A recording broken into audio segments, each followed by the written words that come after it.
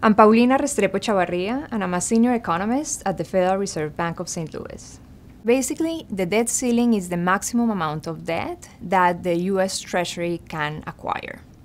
And what are the effects of or the implications of this debt ceiling? Well, if we don't have enough resources to repay sovereign debt or the government's debt, then that debt ceiling has to be increased such that we can borrow more in order to repay our existing debt or our existing expenses.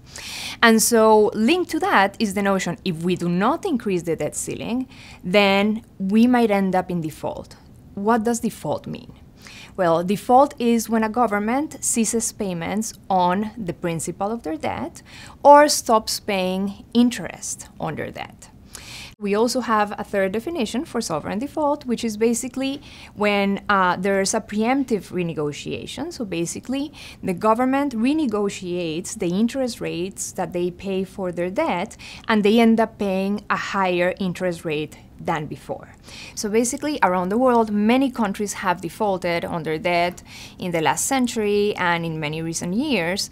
And uh, we have evidence on what can happen in a situation like that. So basically, what we see happening is that GDP drops. So we have what we refer to as output drops. And at the same time, we have capital flow reversals, meaning that net exports go up. This increase in net exports is a reflection of the fact that when a country defaults, they are excluded from international financial markets. This exclusion from international financial markets lasts about uh, three years. So, what would happen if the US were to actually go into a default? We really don't know, but it would also depend on how the default is implemented. So, basically, if the government decides to stop payments on their foreign debt versus they stop making payments on their domestic debt, or if they stop making payments on Social Security, for example. And so think about the foreign sector. If they default on their foreign debt, then this would generate huge uncertainty and spillovers around the world, especially in developing countries. If they stop paying their, their debt on uh, domestic agents, this would generate a lot of domestic uncertainty.